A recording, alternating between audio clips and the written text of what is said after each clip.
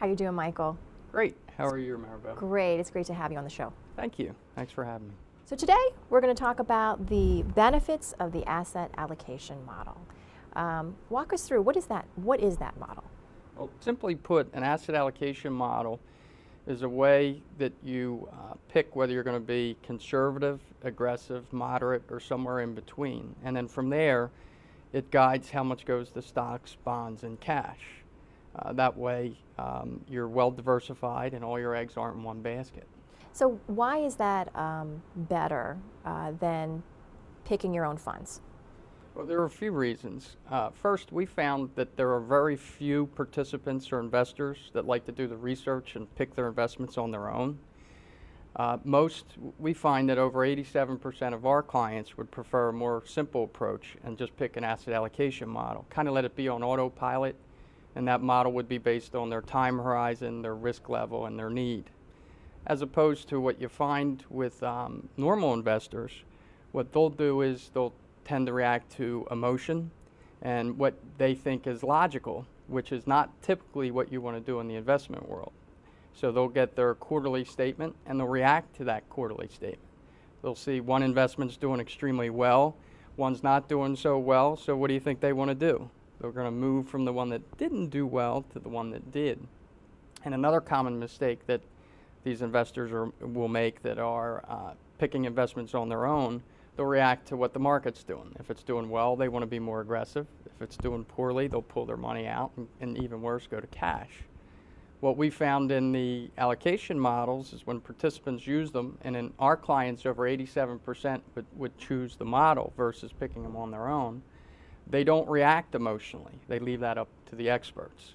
So they stay well diversified, and instead of chasing returns, trying to pick the investment, selling the position that didn't do well and buying the one that, that did do well for the quarter, in essence, selling something cheap and buying something high, our clients in the models do the opposite because the models are automatically rebalanced. So it rebalances itself as opposed to having to make that decision as to when to rebalance based on market activity. Correct, and it takes the emotion out of it. Again, when I go back to what I said, what you think is logical in the investment world is not you know, you're actually selling a position that did well, bringing it back to where you wanted it, and buying a position that didn't do as well. So you're a constant shopper. Uh, what, what happens is that the stock market and the bond market are the one thing that investors don't want to buy on sale when they should. What about target funds?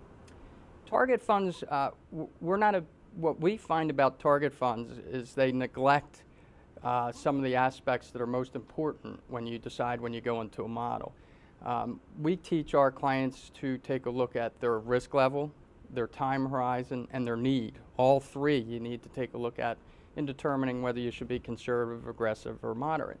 What a target date fund does is it just uses the, um, the time horizon only, the date at which you're going to retire. And again, that neglects two of the biggest aspects of deciding your allocation. Uh, it neglects the fact that what your real risk level is and what your need might be.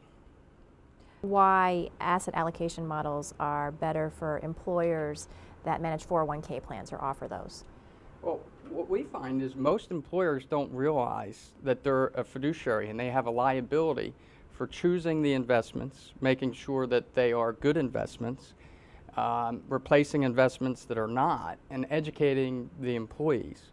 Also, with, with legislation that, that came out over the last few years after the Enron things, uh, the Pension Protection Act that came out back in uh, uh, the mid 2000s, concentrated on um, if, if an employee uh, didn't choose an investment option and was due a contribution from the employer, employers used to just put them in a money market or a very safe investment. The Pension Protection Act said you can't do that any longer as an employer.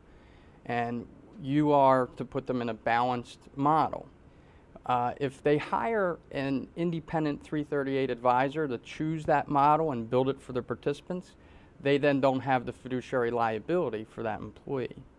If they hire a 338 advisor to choose the investments, to build the models, they don't have the fiduciary liability for the investments for the whole plan either. What is a 338? Can you? A 338 advisor is an advisor who is willing to accept the fact that they are a fiduciary to the plan. they accept in writing, they accept that they have discretion over the assets, and they make the decisions on the investments for the employer. Therefore, the most important thing that a 338 advisor does for an employer is takes on, take on that fiduciary liability for the investments. What if I am um, want to take advantage of a managed asset allocation model and um, you know I, I can't do it through my 401k. Can I do it through an IRA account or? Uh, you can there. You, what there are many mutual fund companies now that are that do have allocation models, conservative through aggressive, and you can choose that model. Again, what we teach our clients and through um, our software is teach them to concentrate on what their time horizon is, uh, what their risk level is, how they think they would react if the market lost 10%. Uh, then the third thing, the most important thing is need. You really need to take a look at how much money am I going to need when I retire. Um, therefore, that also guides whether you need to be more aggressive or if, if you're getting older and closer to retirement and, and close to the amount of money you're going to need to retire, you no longer need to take risks so you can be conservative. So uh, there are many different avenues to get allocation models. Um, we feel uh, the investment advisor of your choice can help you build that model based on those three criteria. Or there are mutual fund companies that offer conservative, moderate to aggressive. Um, in the 401k world, we feel it's, it's more advantageous for the employer to hire the 338 advisor so they don't have that investment liability.